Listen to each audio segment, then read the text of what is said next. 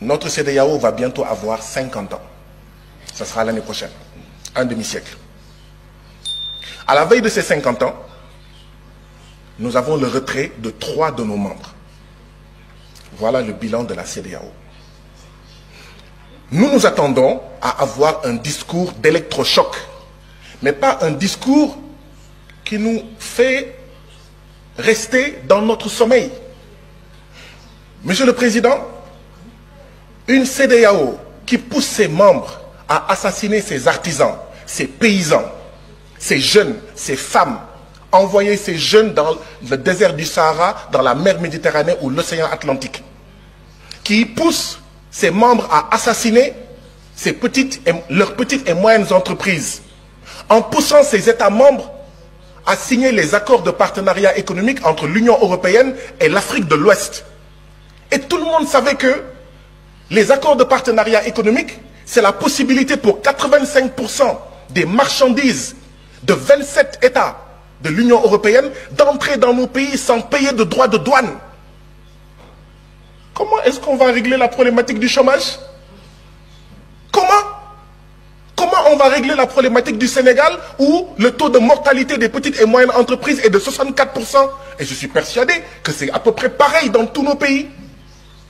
Mais cette CDAO-là, c'est elle en réalité qui pousse notre jeunesse à essayer de traverser la mer Méditerranée et à prendre les pirogues à l'assaut de l'Europe forteresse. Nous ne voyons pas de changement. Cette CDAO qui pousse nos pays à maintenir les bases militaires françaises, à accueillir les djihadistes et d'autres armées d'occupation, parce que cette CDAO ne nous aide pas, n'aide pas nos pays, Mali, comme le Burkina, comme le Niger et comme d'autres pays, à faire face à la sécurité. Voilà ce que c'est que la CDAO. Mais qui va rester dans un mariage pareil? Un homme et une femme sont mariés. L'homme prend ses bagages et part. La femme dit à son mari, tu vas revenir par la force, viens. Non, c'est de dire, mon mari, pourquoi veux-tu t'en aller? Et on pose les problèmes. Je ne sens pas cette démarche, Monsieur le Président. Et nous devons aller vers cette démarche. Refondation ou mort de la CDAO. Voilà où on en est aujourd'hui. Transformation structurelle ou mort de la CDAO. Changement profond ou mort de la CDAO. Voilà où nous en sommes, Monsieur le Président. Si on ne fait pas ça, la jeunesse de l'Afrique de l'Ouest, dans les villages, dans les quartiers, ne veut plus de ça. Dit que cette CDAO est une CDAO des chefs d'État et non des peuples. Et ça ne sert à rien de dire non, non, non, non, non, non, non. Il faut changer par les actes.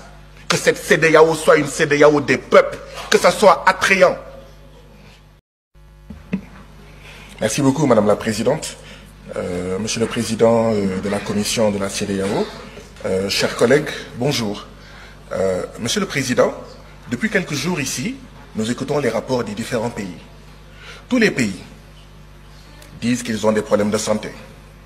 Tous les pays disent qu'ils n'arrivent pas à nourrir leur population. Tous les pays disent qu'ils ont des problèmes d'école. Tous les pays, même là où il y a les djihadistes des États-Unis, même là où il y a l'armée française, disent qu'ils ont des problèmes de sécurité. Je n'entends pas dans le rapport des réponses à ces problèmes. Je n'entends pas dans ce rapport une prise en charge de ces problèmes, Monsieur le Président de la Commission de la CDAO. Monsieur le Président de la Commission, c'est hier, dans la journée, il y a moins de 24 heures, que nous avons reçu votre rapport de plus de 80 pages. Vous comprendrez qu'il y ait eu, dans un premier temps, 16 inscrits. Vous voyez, il y a 36 présents sur le total des députés de la CDAO. La CDAO n'est plus attrayante, même pour ses membres, même pour ses députés.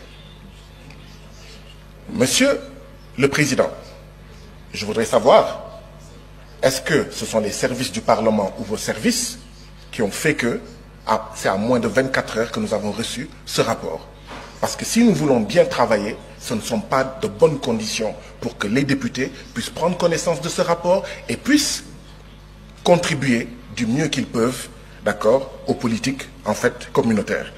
Monsieur le Président, vous avez dit qu'un peu plus de 85% euh, que les recettes des prélèvements communautaires financent un peu plus de 85% euh, du budget de la CDAO. D'où viennent les 15% D'où viennent les 15 autres pourcents Monsieur le Président, notre CDAO va bientôt avoir 50 ans. Ce sera l'année prochaine, un demi-siècle. À la veille de ces 50 ans, nous avons le retrait de trois de nos membres. Voilà le bilan de la CDAO. Nous nous attendons à avoir un discours d'électrochoc, mais pas un discours qui nous fait rester dans notre sommeil. Monsieur le Président, une CDAO qui pousse ses membres à assassiner ses artisans, ses paysans, ses jeunes, ses femmes, envoyer ces jeunes dans le désert du Sahara, dans la mer Méditerranée ou l'océan Atlantique, qui pousse ses membres à assassiner ces petites leurs petites et moyennes entreprises, en poussant ces États membres à signer les accords de partenariat économique entre l'Union européenne et l'Afrique de l'Ouest. Et tout le monde savait que les accords de partenariat économique, c'est la possibilité pour 85% des marchandises de 27 États de l'Union européenne d'entrer dans nos pays sans payer de droits de douane. Comment est-ce qu'on va régler la problématique du chômage? Comment? Comment on va régler la problématique du Sénégal où le taux de mortalité des petites et moyennes entreprises est de 64% Et je suis persuadé que c'est à peu près pareil dans tous nos pays. Mais cette CDAO-là, c'est elle en réalité qui pousse notre jeunesse à essayer de traverser la mer Méditerranée et à prendre les pirogues à l'assaut de l'Europe forteresse. Nous ne voyons pas de changement. Cette CDAO qui pousse nos pays à maintenir les bases militaires françaises, à accueillir les djihadistes et d'autres armées d'occupation, parce que cette CDAO ne nous aide pas, n'aide pas nos pays, le Mali, comme le Burkina, comme le Niger et comme d'autres pays, à faire face à la sécurité. Voilà ce que c'est que la CDAO. Mais qui va rester dans un mariage pareil? Un homme et une femme sont mariés. L'homme prend ses bagages et part. La femme dit à son mari, tu vas revenir par la force, viens. Non, c'est de dire, mon mari, pourquoi veux-tu t'en aller? Et on pose les problèmes. Je ne sens pas cette démarche, Monsieur le Président. Et nous devons aller vers cette démarche. Refondation ou mort de la CDAO. Voilà où on en est aujourd'hui. Transformation structurelle ou mort de la CDAO. Changement profond ou mort de la CDAO. Voilà où nous en sommes, Monsieur le Président. Si on ne fait pas ça, la jeunesse de l'Afrique de l'Ouest, dans les villages, dans les quartiers, ne veut plus de ça. Dit que cette CDAO est une CDAO des chefs d'État et non des peuples. Et ça ne sert à rien de dire non, non, non, non, non, non, non. Il faut changer par les actes. Que cette CDAO soit une CDAO des peuples, que ça soit attrayant. Madame euh, la Présidente, j'aurais suggéré qu'il y ait un minuteur. Dans nos différents parlements nationaux, il y a un minuteur, d'accord, qui montre... Votre temps de parole est épuisé. Pourquoi Pourquoi Pourquoi La CDAO Honorable Babassal, Honorable Babassal, vous avez la parole.